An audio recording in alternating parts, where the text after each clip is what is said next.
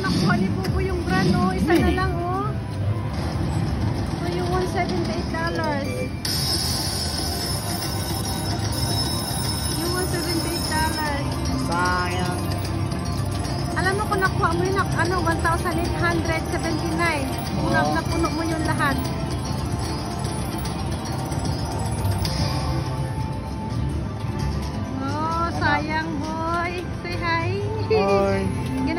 Last minute casino. ano, spin ka pa? Yeah, go ahead.